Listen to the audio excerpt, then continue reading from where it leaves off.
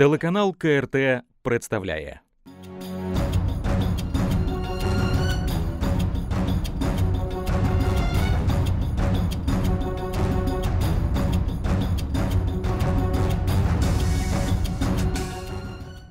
Здравствуйте, дорогие телезрители! Вы смотрите программу «Без протокола». С вами я, ведущий Дмитрий Василец. И сегодня у нас в гостях очень необычный гость. Это Натача Диас Агилера, чрезвычайный полномочный посол Республики Куба в Украине. Здравствуйте! Здравствуйте, здравствуйте, спасибо большое. И вот э, первый вопрос, конечно, который хотелось бы задать, это вот, э, а что в принципе на Кубе, э, несмотря на то, что там эмбарго, несмотря на давление и так далее, мы знаем, что Куба уже под санкциями в районе 60 лет, э, каким образом там ситуация с коронавирусом, вот этим COVID-19? Э, там удалось победить или вот э, какая там вот история с этим вирусом? Вот, я могу вам сказать, а, начинать с последнего. Могу говорить, что наша наука, наша система здравоохранения победила смерть. Дело в том, что за три месяца, как у нас появились первые случаи коронавируса, мы уже объявили, что мы- будем проходить сейчас поэтапно в нормальное состояние. Почему? Потому что у нас уже а, количество активных э, случаев только осталось 20, 206 случаев, 206 случаев.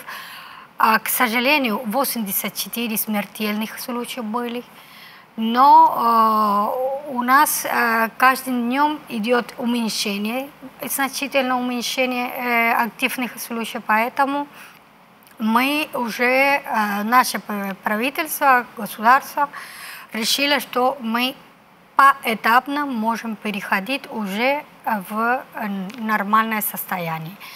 Как это удалось прямо при, при таких ситуациях, о которых вы говорили? Мы под геноцидной блокадой, которая сейчас ужесточила намного еще хуже. Но это уже после прихода Трампа ужесточили еще блокаду. Да, да. После прихода Трампа и сейчас при условиях коронавируса еще хуже стало.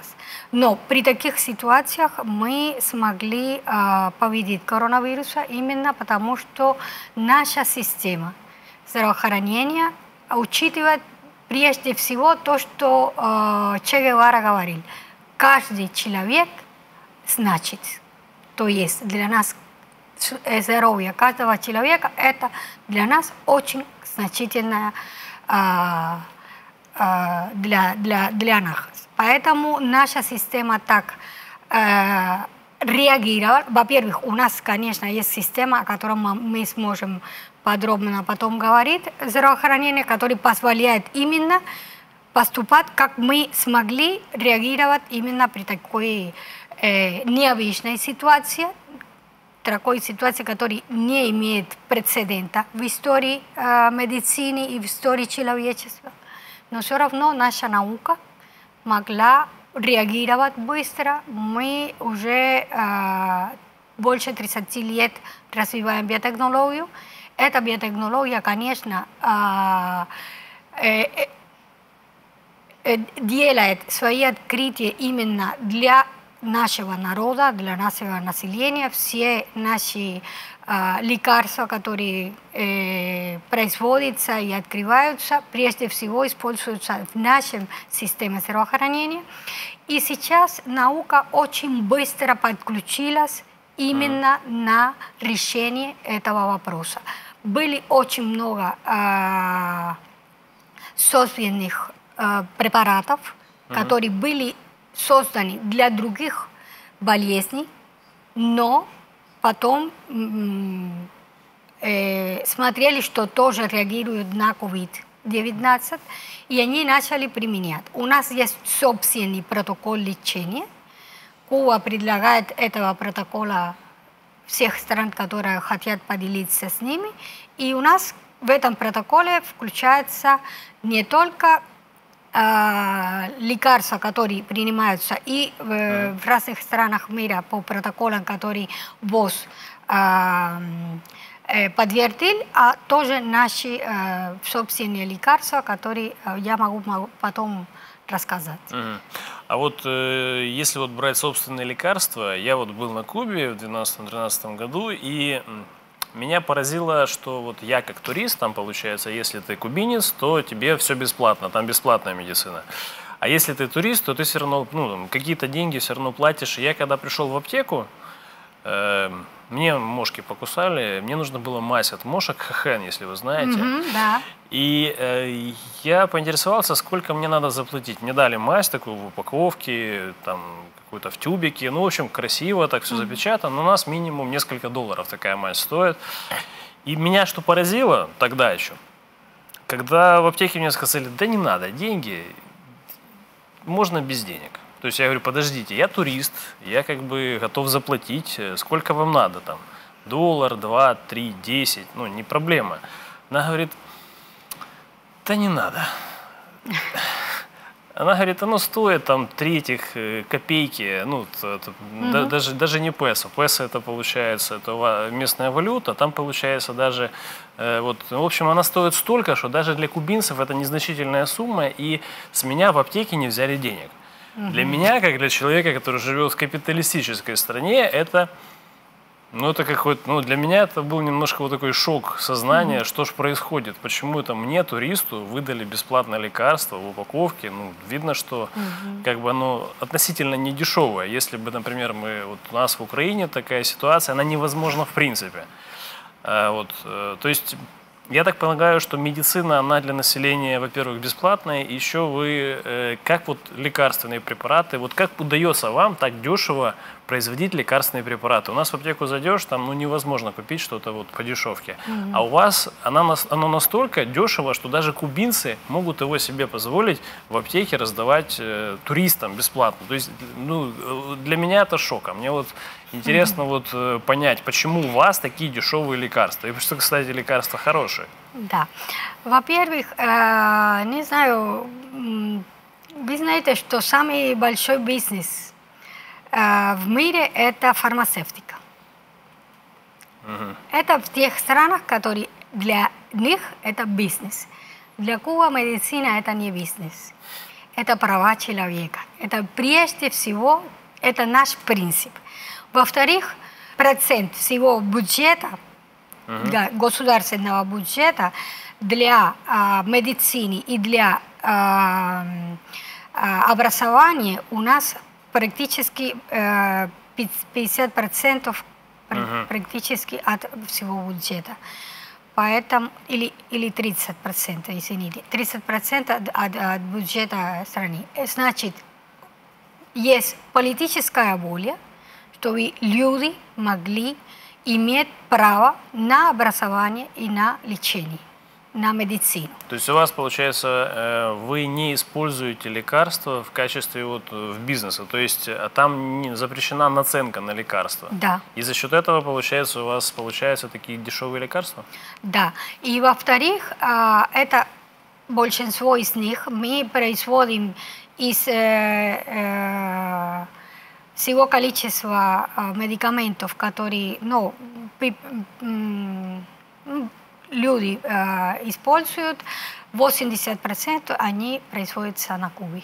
Это, конечно, мы должны приходить именно к этим э, производствам, потому что мы блокированная страна. Для нас покупать лекарства э, за рубежом очень, очень дорого. Поэтому мы уже 30 лет назад наш э, лидер нашей революции Фидель Кастро говорил, что нам надо создать собственное производство, собственная наука для производства наших лекарств. И именно а, начали как раз а, строить все эти заводы, все эти центры научные, потому что очень интересно, что там не просто производятся лека- лекарства, это научные центры, которые делают разработки этих медикаментов, производят, и тогда они исследуют тоже как а, они действуют на кубинское население.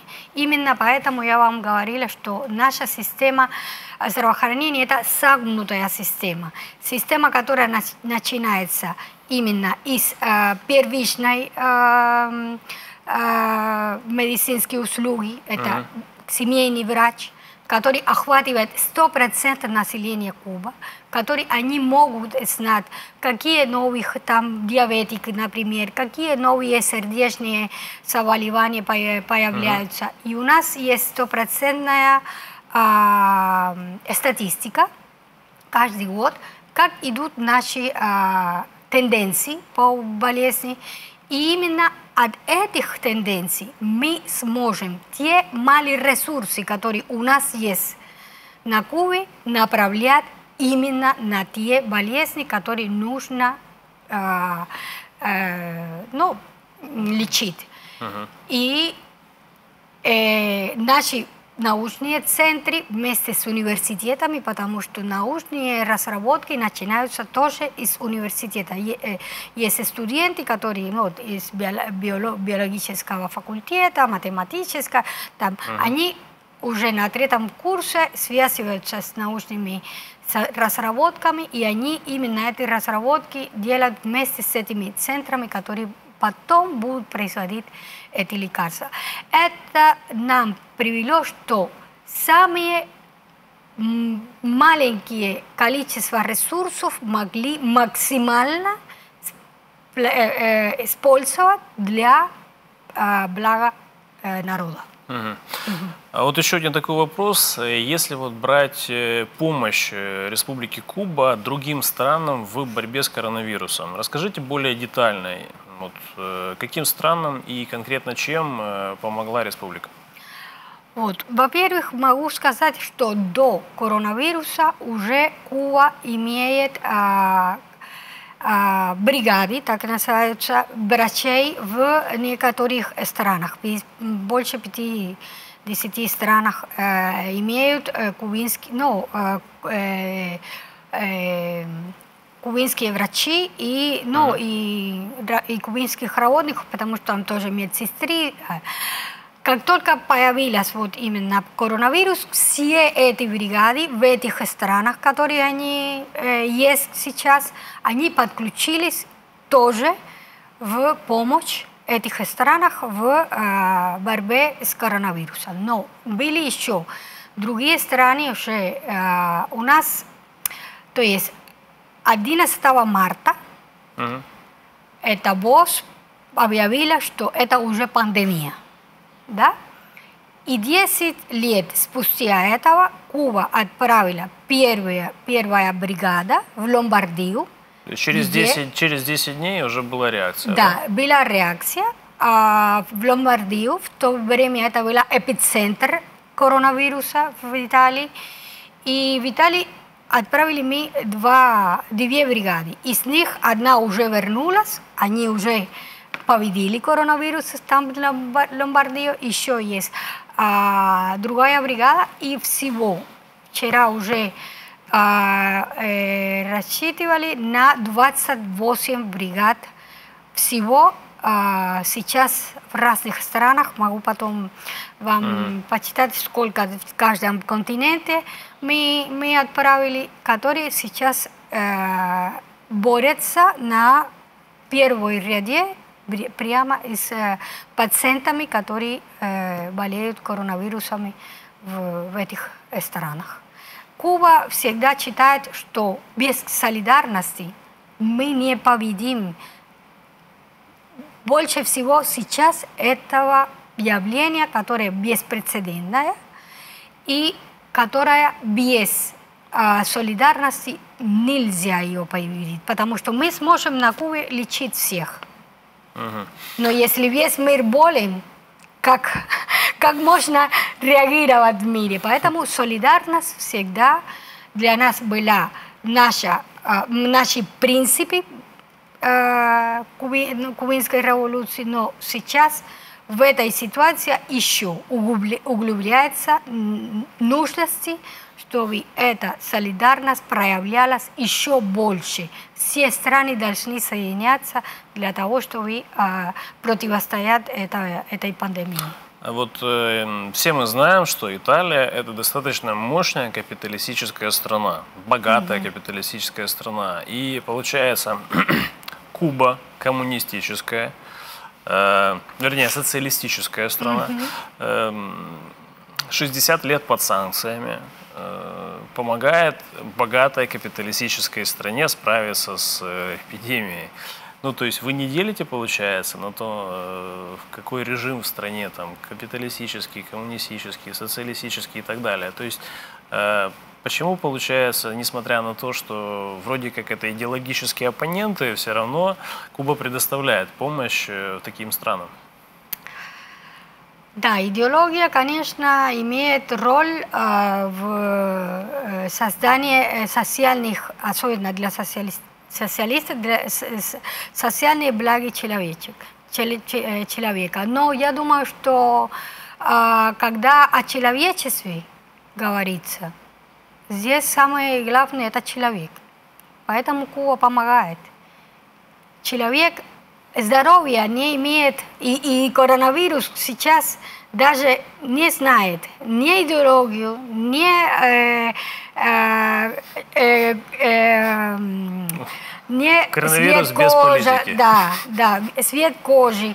Поэтому э, для нас самое главное помогать, чтобы люди не умирали, чтобы могли эти страны восстанавливаться, потому что это не только вирус, это по экономике каждой страны, это очень сильная э, потеря очень uh-huh. сильные потери. И, и те, которые сейчас переживут коронавируса, будут это тоже пережить так очень глубокий кризис. Поэтому uh-huh.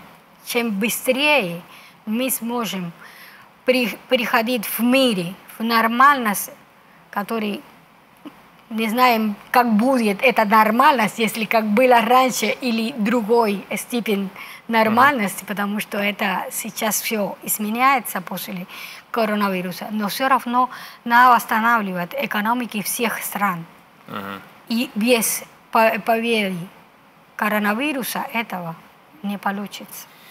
А вот э, если вот присмотреться к системам здравоохранения государств, вот, например, Италия и Куба, вот мне вот интересно сравнить. Вот я вот, э, мы сейчас, вернее, наблюдали, что Италия один из лидеров по э, заболеванию на коронавирус и и так далее. И мы видели, что там получается коммерциализированная медицина, э, страховая, и люди там еще сами могут там платить за то, чтобы их лечили. И таким образом мы видели абсолютное фиаско, в принципе, угу. вот этого подхода к э, медицине в плане того, что э, врачи предоставляют не помощь, а э, оказывают услугу за деньги. То есть это как бы два абсолютно разных подхода. Если вот брать Кубу, опять же, я еще помню, что э, вот эти условия, э, вот как мы сейчас называем карантина, когда в каждом магазине стоит э, Э, баночка для дезинфекции, дезинфекции рук. Э, на Кубе это было тогда еще в 2012-2013 году. Угу. И как бы, я так понимаю, Куба уже ну, системно уже тогда готовилась еще много-много лет назад э, к любого рода эпидемиям, начиная там, наверное, mm-hmm. от самых страшных болезней, там чумы и так далее, заканчивая чем-либо. То есть эм, почему был такой основательный подход к медицине и с вашей точки зрения, почему э, медицинская система здравоохранения Кубы все-таки лучше справилась, чем в капиталистических странах? Вот еще раз э, могу говорить, что у нас э, система здравоохранения идет именно для профилактически. Uh-huh. У нас э, как раз система здравоохранения идет сначала на профилактику. Uh-huh. Профилактический поступок э, в области медицины намного э, позволяет иметь, во-первых, здоровое, э, здоровое население, uh-huh. во-вторых, тратит меньше ресурсов, uh-huh. и, и это позволило нам именно иметь сейчас такие, но для этого мы сильно и очень интенсивно работали. Во-первых, создали то, что я уже э, говорила, это м, медицинский, э, то есть э, эм, создали врачи, семейные врачи, которые обслуживали всего населения. А, Эти, эти врачи обследуют, дадут лекарства, а, попытаются, чтобы все новые болезни, потому что у нас на Кубе тоже эпидемии бывают, но это денге, а, а, э, как это, чикунгунджа, э, сика. Мы, мы живем в тропической стране. Это, Ага. это у нас бывают, поэтому мы э, эпи- эпидемиологической точки зрения имеем очень сильная подготовка, потому что у нас каждый год какая-то будет всегда или денге, или чикунгунджа, или м, э, сика. У нас э, идут, очередуются. И Ага. так.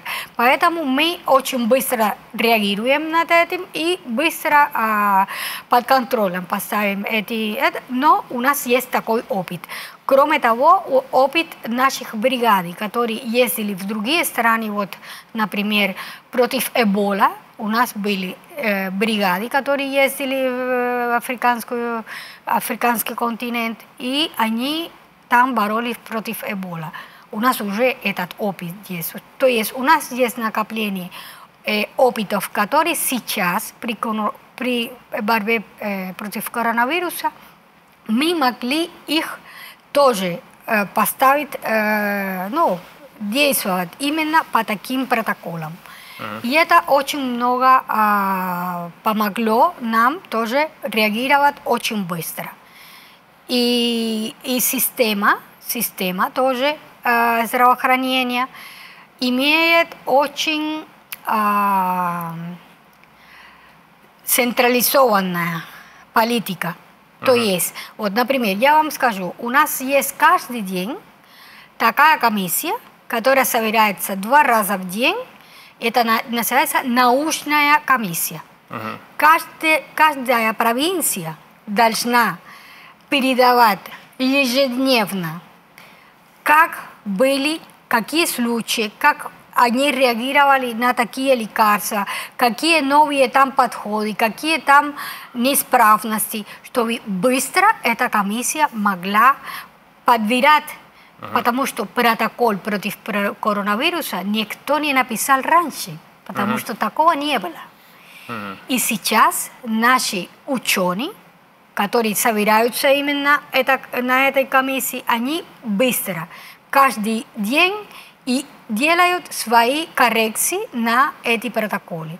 Поэтому а, я думаю, что сейчас люди могли больше всего оценить какая сила имеет социалистическая страна. Потому что, да, у других стран и могут быть очень много ресурсов, могут быть очень хорошие больницы, могут быть очень развитые центры, на- научные центры, но если они работают только а, для своих целях, Ну, или- заработка. Да, или заработка. Это не отражается столько на здоровье населения, как работает социалистическая система в здравоохранении, в э, э, права человека. Вот мы сможем посмотреть. Китай быстро хотя и там было очень сильное проявление коронавируса, быстро смогли справиться. Вьетнам то же самое, Куба то же самое и так далее. Можно так посмотреть. Поэтому я думаю, что сейчас стоит посмотреть, как особенно для медицины социалистические структуры для а, обслуживания населения в области медицины, это а, ну, можно учить у социалистических стран. Э, следующий тогда вопрос. Э, помнится, была такая программа по лечению украинских детей чернобыльцев на Кубе. Э, да. И там под Гаванной целый комплекс построили. Тарара назывался, по-моему, если я да, не ошибаюсь. Да. Э, Красиво я там был, кстати. И э, вот какая судьба этой программы? Почему она закрылась? И можно ли такие программы будет эм, запустить опять? Вот, во-первых, я вам могу вам сказать, что а, Тарара это была был до программы Чернобыля, детей Чернобыля, это был пионерским лагерем. Мгм. Даже когда происходила беда а, Чернобыля и э, стран- ну, то есть государство э, Украины обратилось к Кубе, э, ну, в то время была СССР, хотели, обратилась к Кубе, потому что никто не хотели принимать этих детей, потому что они были зараженные. А, а, наш Фидель Кастро обратился к э, пионерам и спрашивал, вы знаете, есть дети в такой стране, который, ну, такой э, место, которое называется Украина, и они нуждаются в лечении. Но а, нам нужно, чтобы вы были согласны, если а, можно переселить их на именно э, пионерском лагере Тарара. Вы согласны? Все дети, да!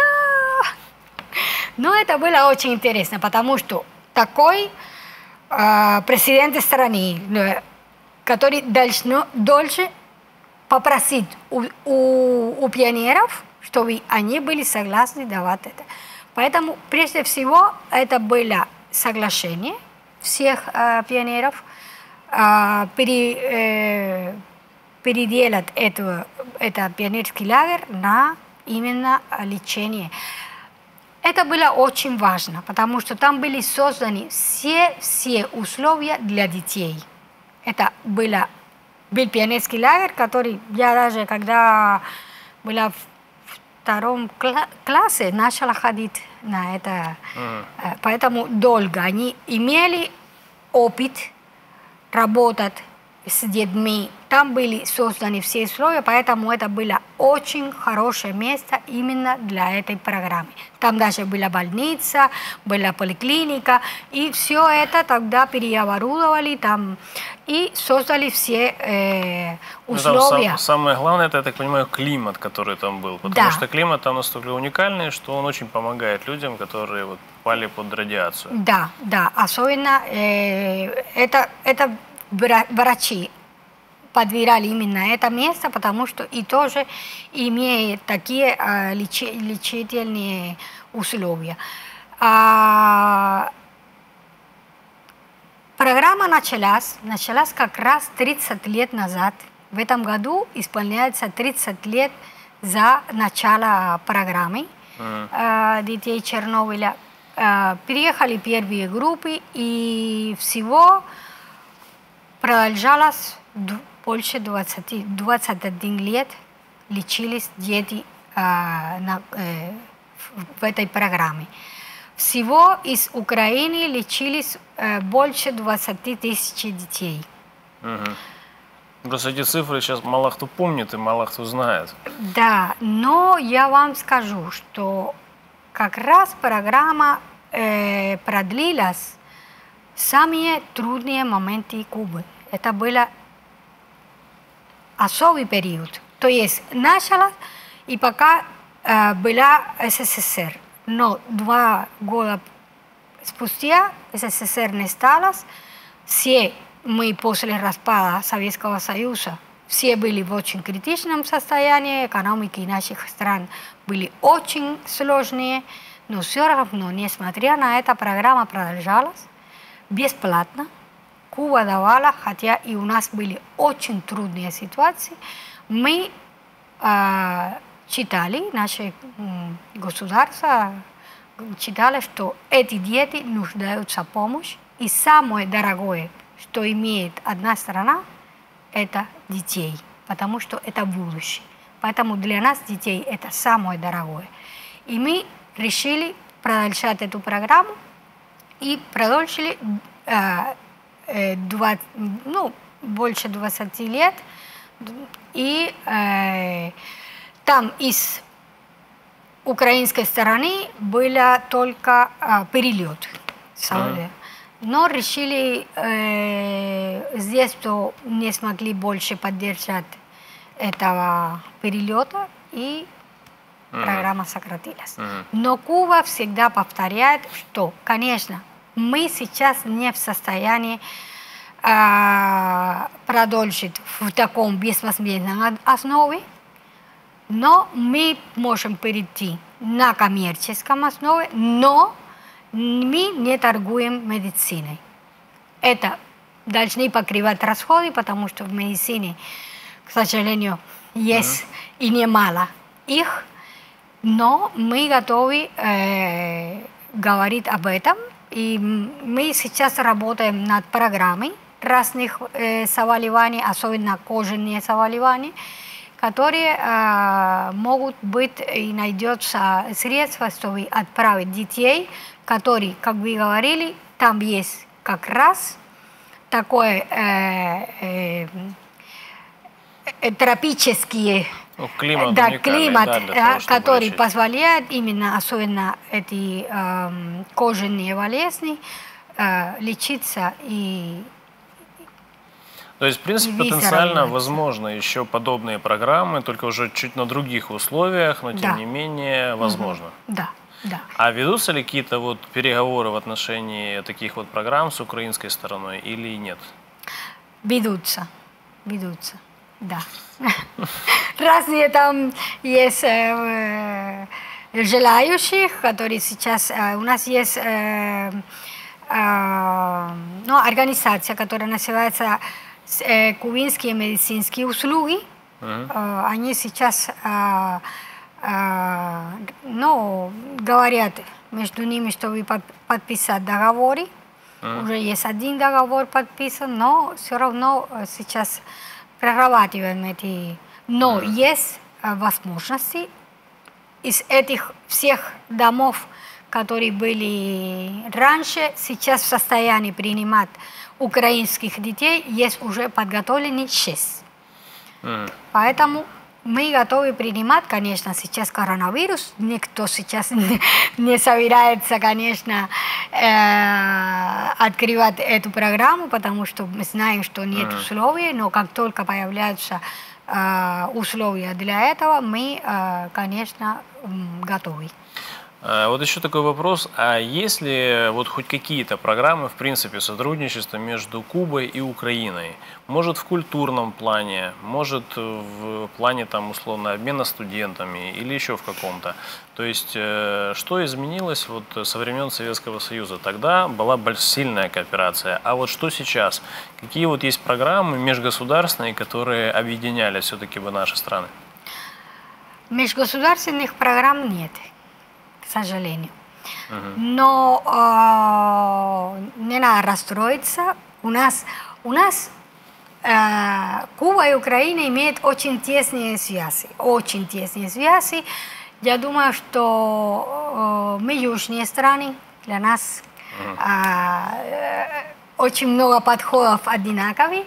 И то, что у нас были 21 год детей Чернобыля, это очень означает, что когда человек говорит, ну, я из Украины, наверное, вы это чувствовали, это не чужой человек на Кубе. Это сразу принимают как семья.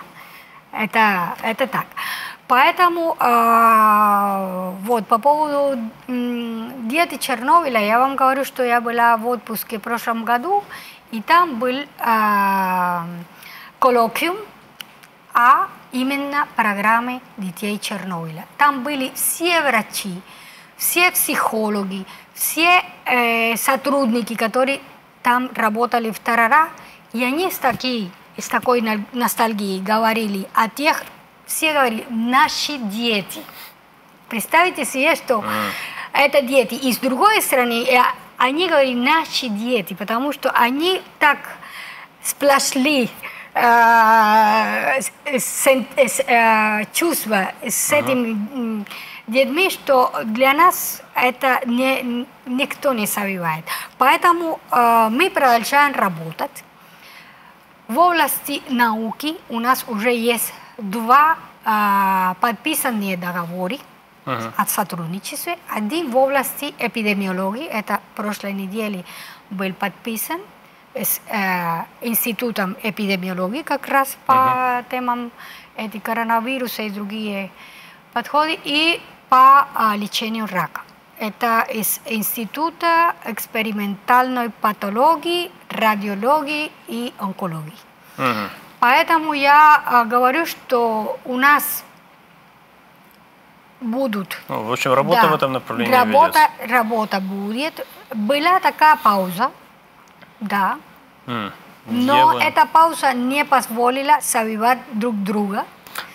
Поэтому я, мы работаем. Я даже больше скажу, э, в Украине столько, настолько проникла кубинская культура, имеется в виду сальса, да. Э, что как бы есть очень много мест и кружков, которые помимо государственной политики все-таки все равно э, культурный обмен он происходит. Это вот это это из хорошего. Я помню в прошлом году по выходным на Почтовой площади там очень много молодежи танцевали И далеко не только Для на... меня это было так здорово.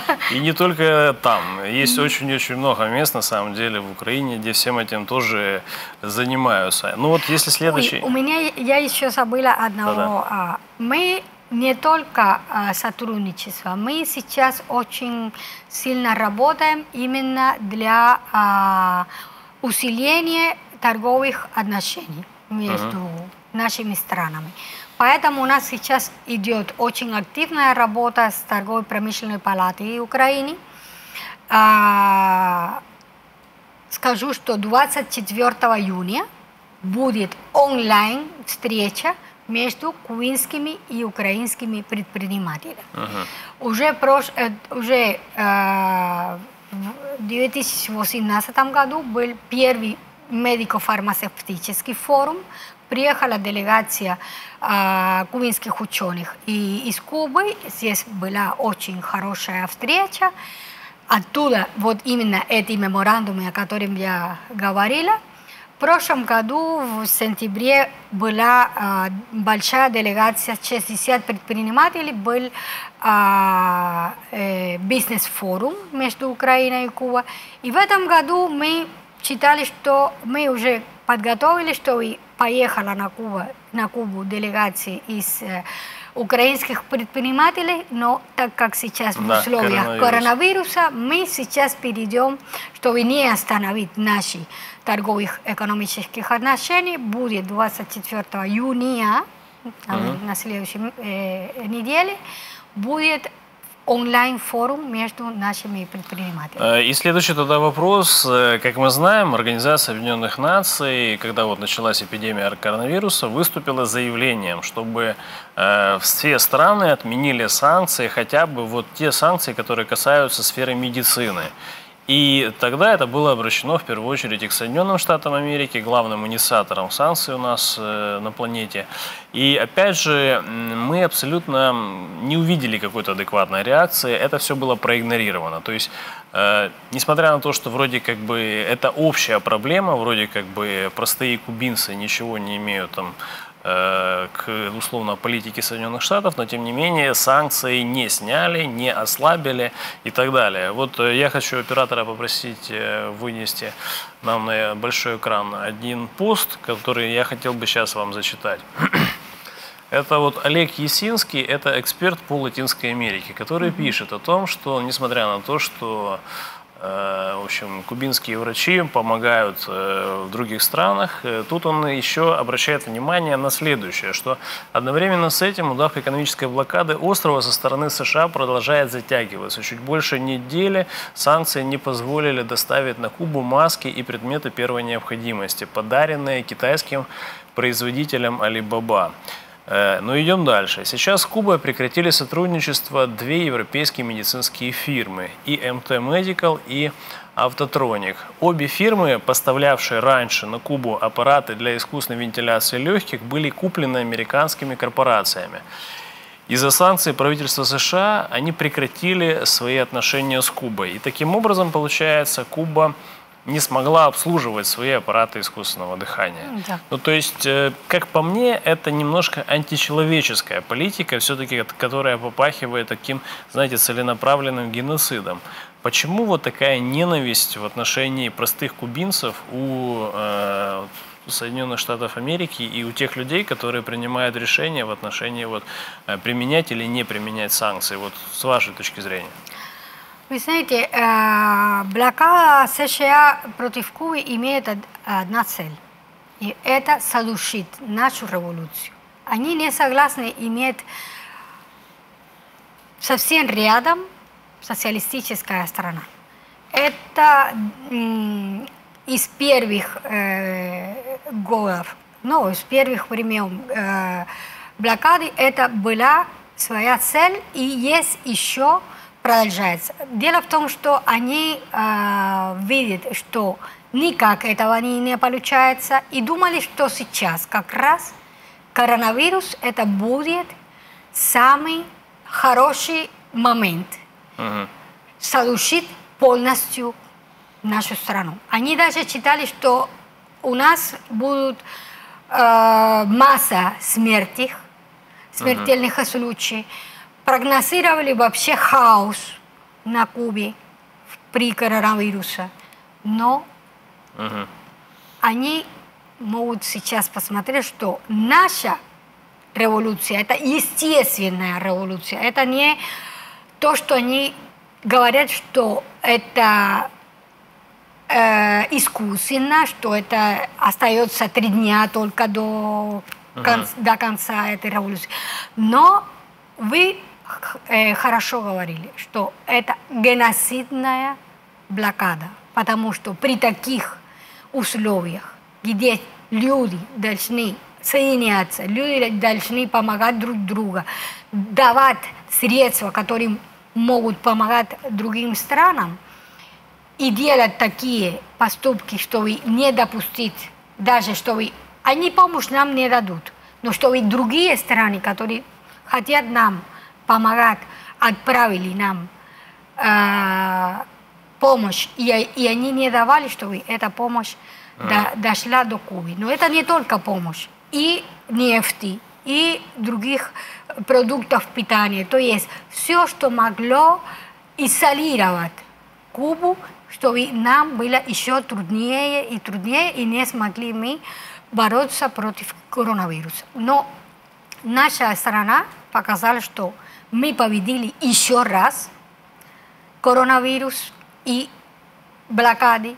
Ага. Поэтому мы очень надеемся, что все страны мира еще раз будут поддерживать Кубу в голосовании э, в резолюции против ООН, блокады ООН, да, и посмотрим, что случится в США с их внутренняя ситуация, которая сейчас есть, что они сами и справиться не смогут, и все равно смотрят на внешние, э, э, ну, ну на другие страны, чтобы делать такие поступки, я думаю, что это все, чтобы внимание э, перенести на другую сторону, и чтобы люди не смогли посмотреть, какой хаос у них есть сейчас. Но для нас, конечно, а, блокада – это самое большое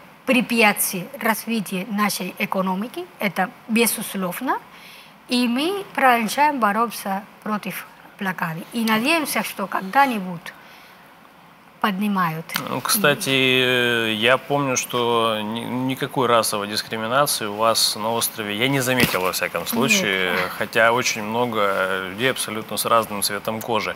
Но я вот просто вот удивляюсь, почему вот э, Если вот мы видим конкретно вот э, в случае эпидемии коронавируса такую политику, когда получается компании, которые предоставляют э, аппараты искусственного дыхания, чтобы эти вот аппараты искусственного дыхания у вас на острове не работали. Ну, то есть и они специально покупают компанию и э, закрывают возможность вам обслуживать эти аппараты. Ну, то есть это, по-моему, честно говоря, какая-то дикость, какое-то средневековье. Ну вот если даже вот... Э, если вот мы возьмем официальную позицию, как вот они трактуют э, блокаду, санкции и так далее, они говорят, что это против правительства. Но здесь мы видим конкретно на примере, что это не против правительства, это против конкретно каждого кубинца, ребенка, пенсионера и так далее. То есть вот здесь вот я не могу понять логики. Вот как вы можете это прокомментировать? Мы тоже не сможем поднять логику. Это не имеет логики. Не имеет логики. Это, это просто слепая ненависть? Это, это бесчеловеческое чувство. Люди, которые хотят повредить других людей, даже без э, при таких ситуациях, когда есть болезни, это, это, это уже не человек. Это, это уже это геноцид. Это не имеет другого, другого э, определения. определения.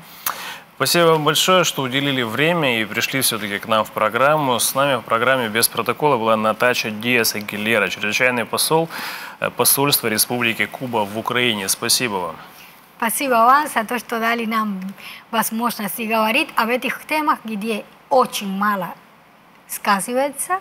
Особенно в Украине очень мало читаю именно о Кубе. Сейчас в таких ситуациях. Я Спасибо думаю, это не большое. последняя программа.